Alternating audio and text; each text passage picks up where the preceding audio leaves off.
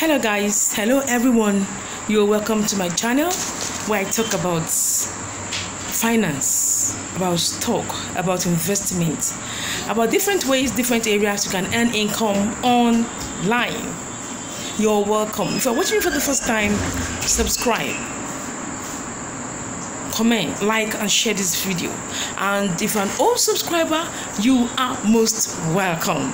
Everyone is welcome here like i do i talk about everything earning online and one way you can earn very good income online is via blogging blogging is when you write uh, a write-up about a particular thing.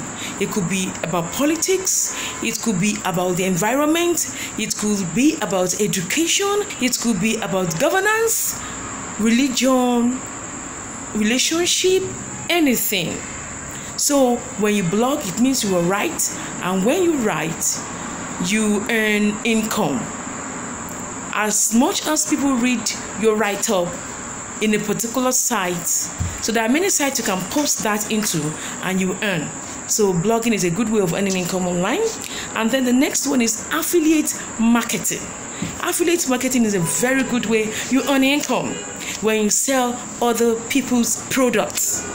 Selling other people's products give you a good income and those in outside Nigeria they can sell on Digistore 24 com. That's an affiliate site that you can sell products and also on ClickBank. But if you're in Nigeria, you can sell via Jumia, Konga, and make a lot of income. Also, you can earn via freelancing when you render freelancing services to other people, then you can earn income. An example of that is uh, Upwork. Register with Upwork.com post what you can do in the in the registration and then you people that need your service they will get back to you and you earn a lot of income. And also online when you watch online videos when you answer surveys you can earn income too a good income online via that. Also you can earn income as a social media marketer. Yes when you when you when you market product on the social media then you can earn income. Also you can earn income you can earn income as a web website designer. When you design websites then you earn income.